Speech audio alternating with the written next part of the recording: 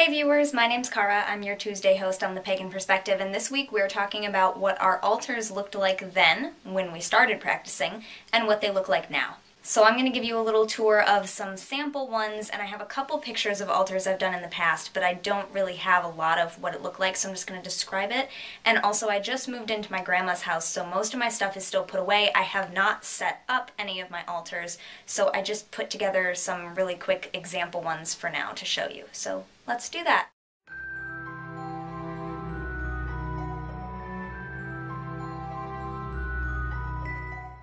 Okay, so when I first started practicing, my altars looked a lot like how pretty much every beginner's book told you to try and set them up. And you know what? I'm not going to say that that was a bad thing, because even though I don't do it exactly how the diagrams say now, I do keep a lot of the elements that I liked from that, and I think it was a great start because it told me what to do, what to try, and it enabled me to practice with it and see what I liked and what I didn't. So I always tried to give my altars a god half and a goddess half, and anything that was the unity between them was put in the middle. And I had all four elements, and I had a god thing and a goddess thing, and I had, you know, everything that is supposed to be there. I would always try to have. But when I first started practicing, I actually kept a very small altar box, and these are the things that I used. This is actually the first candle that I ever used, and I chose one that had a lid on it because I wanted to be able to take it around and use it. And I had a small box that I would pack everything in, and so I could take it around with me and bring it out in the woods and whatever I wanted. So this is the candle that I used first, and it's actually baby powder scented and in Reverend Rose style. Smell. It smells exactly like baby powder. It like it's really strong actually. I didn't even need to put it that close to my nose. But that is what I used for my fire representation and then these two candles or these two and they are still the same two. You can see that one's all the way burned down, but that one's not. I didn't use these very often. I would always just light them when I was doing ritual and put them out when I was done. So as you can see, these are still the exact same candles I have been using for all those years. But I would use these as my illuminator candles, which the books said you should have a god one and a goddess one, so even the scents correspond with god and goddess. The god one is energy for body, mind, and spirit, and see I even drew a little god symbol on it. And the goddess candle, I picked Jamaican vanilla for free spirits, and has a goddess symbol. And then for earth and water, I had a sand art kit that came with these bottles that you were supposed to use for the sand art, but instead I filled this one with salt, and this one was always full of water, but it's evaporated now. And these are the two things that I would take out with me in my little box. I would have that or in a bag, that and those, and those would be my representations, and I would just kind of uncork it and pour out a little bit, or I would just leave it like that, and there's my representation. Now, I still do a slight, slightly similar thing. This is what I have for water now, and I don't leave it in the jar, but this is how I store my consecrated water. I have a big one. This was from a scented oil, and I just took off the label, and then this is a jar that my mom gave me shortly after, so I stopped using that when I got this and I would pour it into a little bowl or something. And then for air, I would always have a little incense burner, but none of my incense burners are out right now at the new house, so I don't have any to show you, but I would always just have an incense burner. So those are the things that I used in my first altars ever. Now I'm going to take you upstairs. It's going to get dark and light again because I used to keep an altar on my dresser top, and it was the entire long dresser top. I almost tripped on a stair just there. This dresser used to be a full altar, and I would have the god side and the goddess side and, you know, the unity in the middle. This is just how it's set up right now as my dresser. I'm in the process of moving in. But this entire thing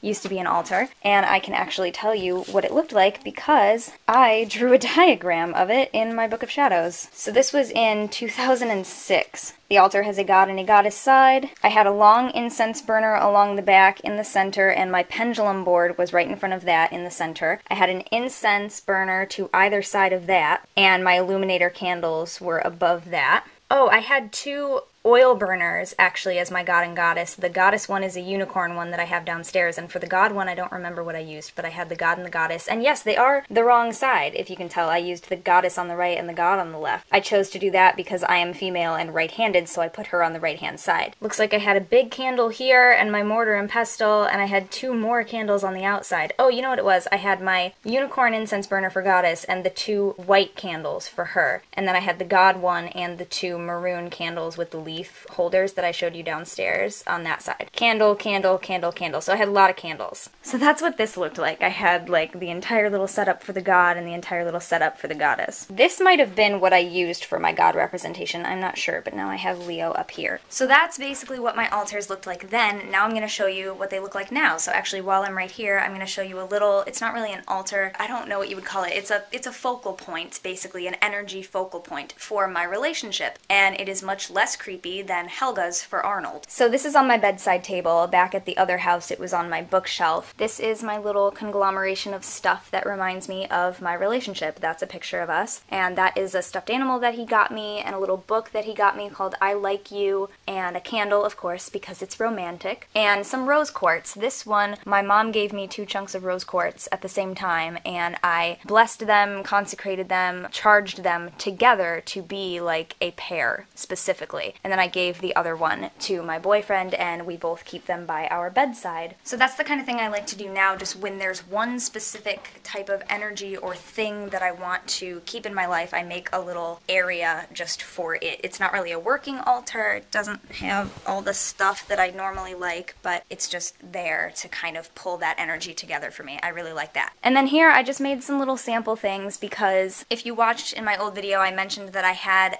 four different elemental altars, and right now the only two tables I have set up are the air and the fire. So I did a little sample of what an air altar for me might look like, and I love fans, first of all. I have a lot of fans, and that one in the center is a gift from a friend of mine. She went to China and brought that back for me. So I always have that, at least that red fan. This time I happened to have more of them, so I just did more. A bell because sound is air. Yellow is the color that I associate with air, and this candle actually happens to have dragonflies on it, so it's even more so. I try to have feathers when I can. This is my little sachet bag of lavender because lavender's element is air. And then my wand because I associate wands with air. And then the altar cloth is blue. Normally it would be blue or white or yellow or something that's airy to me. So that's just, it's a very simple, oh, and normally I would have an incense burner, but like I said, they're all packed away. This is the only one I have out, and it's very big big so it's next to the altar but not on it because it would take up so much room. And then for a fire altar, this is the table that I always use. That's not the altar covering that I use. All my stuff is packed away, so I just used these. They're green, but I turned it over because the other side is red and that's closer to fire. This is not a setup that I've ever actually done for a fire altar. I'm just, it's an example. I always keep my actual like flame devices on my fire altar because that's a good place for them. So I have my incense matches and my lighters. Candles, candles, candles. I always always use tons of candles and I use fire related colors. This is actually a candle that I've been using for general prayer, but because it's red and because it's a candle, I leave it on my fire altar because that's just the area where fire goes. I use candles on the other altars like that, but generally it would be here. And then this is actually going to be something I use in the next thing I show you, but that is my travel size fire representation because it's a red piece of glass. So let's take this over here to the next thing I'm going to show you. A couple years ago when I was watching YouTube, I watched, and she was making a little travel size type thing. So I searched and searched for about a year, and my mom finally found me these little bottles. And I actually filled them with element representations from my grandmother's house, which is where I live now. So this is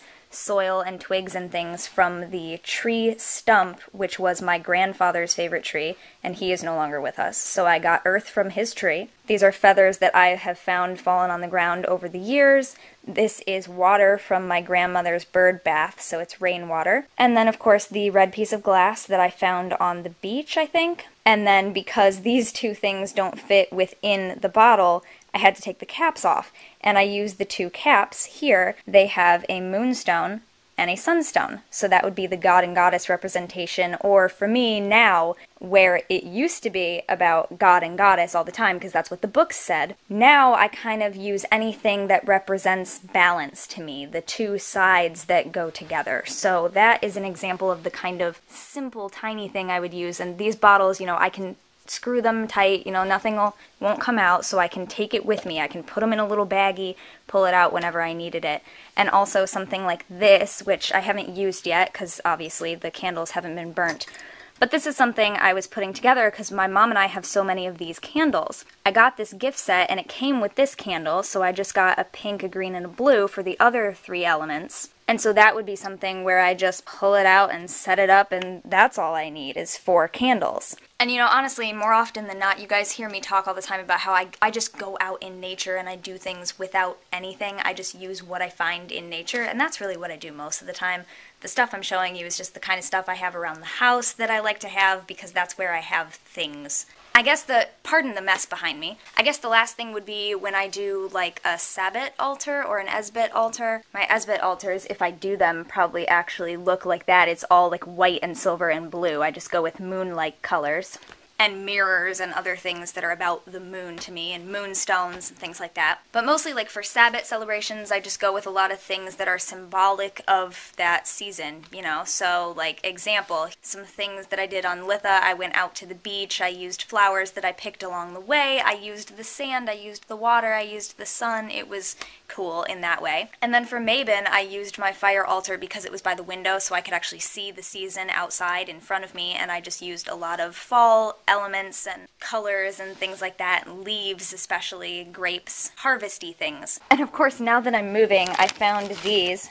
I had this little harvest blessings thing. I have two of them. They're pot holders. So, you know, I would even throw that on there. I would hang that by my altar or put it on my altar. But I do think the biggest thing that's changed from when I started doing altars to now is that one, I do have more of the things that I wanted to have. Like I always wanted to have that round table and my mom finally gave it to me. And I did always want to find the little bottles to use as my tiny elements. And I still do things symmetrically and I sort of put things where I think they should go. Like I line up the elements with the proper directions and things like that. And I still like to make it pretty. I like to make it look nice. But I do think there's a lot more freedom with it now as far as what I use. I've been very creative with what I use, especially if I'm like outdoors and I just want to pick up things from nature. But I don't know, I just I just think I've gotten a lot more free with the things that I use on my altars or as representations. And as I said, now I have four separate altars in my house, one for each element because I'm trying to connect more with each element more deeply than I did when I began practicing. So I guess the changes that have come forth are just from you know, practicing for years and, you know, well, I've already done that, so I want to further my connection with these things. So I've done that and I've done a lot more trying to go out in nature and make connections with representations in nature and then I bring that in with me if I want to come inside. Like on my water altar now, I have a bowl with bark from the willow tree by the lake at my old house. And like I had that little sachet of lavender on the air altar, I like to take all the herbs that I have and put them on the appropriate altars because not only does that just make more and more of that energy put in the same spot, which is really what I'm going for. But it's also helping me learn because I'll I'll think about it and I'll be like, "Oh, what element does peppermint go with again? Oh, well, I keep it on my fire altar, so it's fire." So it's it's helping me learn as well. This video is longer than I wanted it to be, and I apologize. It's a fun topic, and um, as I said, yeah, I'm not I'm not ashamed of where I started with my altars. I'm really not, even though I kind of strayed from it, and now I'm like, "Oh, you don't have to go with the book if you don't want to. You don't have to have a million candles and two incense holders and whatever the heck else I had on that altar, you know, like I am so adamant about the fact that you don't need all these things. Like you really don't. All this stuff I just showed you, you don't need it, and I believe that but it helps us. It helps our minds. It really does. But I do enjoy the journey that I've made with everything, and I'm sure that you will too, or that you do too, if you've been practicing for a while. So thank you very much for watching. I will end this now. I will see you uh, in the new year because this is actually our last video, and the subs will be posting next week, and then we're taking a couple weeks of break. Also, if you were interested in auditioning to be a substitute, I posted a video couple videos ago on this channel saying that auditions are open and that's where you put your video response. So watch that video to find out what you need to do. Okay, thanks. Bye.